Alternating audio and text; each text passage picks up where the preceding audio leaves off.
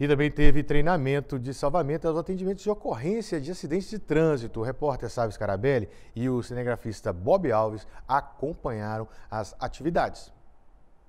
O treinamento reuniu cerca de 30 militares do 6 Batalhão do Corpo de Bombeiros e do Pelotão de Atendimento a Emergências Ambientais e Resposta a Desastres, o PEMAD, em Governador Valadares.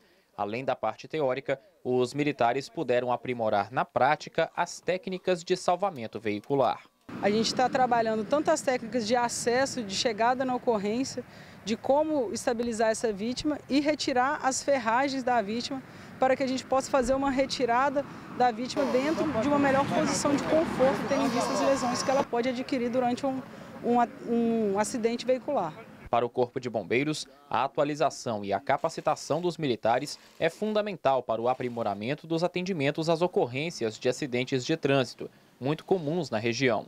Só em Minas Gerais, 13 milhões de veículos circulam pelas rodovias. O pelotão ele tem, está sempre atualizando-se através de curso, onde que militares eles são é, voluntários para esse aprimoramento e adquirem esses treinamentos tanto em Valadares como em outros batalhões.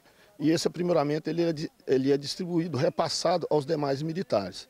Então nós já tivemos é, vários treinamentos esse ano. Dentre eles, nós destacamos o, o, o, o treinamento que realizamos de BREC, que é, é acesso a vítimas em estruturas colapsadas, como também realizamos um treinamento de operações em árvores, que, que, que parte desde do, de uma vistoria ao corte de árvore propriamente dito. Entre as atividades desenvolvidas pelos militares estão a avaliação do cenário de risco, estabilização dos veículos e o uso de equipamentos e técnicas de desencarceramento.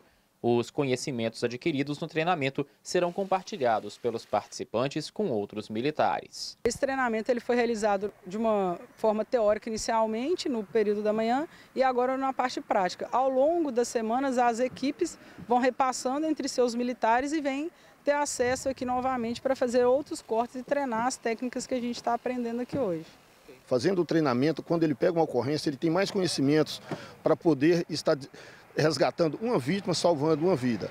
E, e, é, e a importância é justamente essa, é aprimorar para dar à sociedade, para dar a uma vítima um tempo de resposta mais rápido e salvar vidas.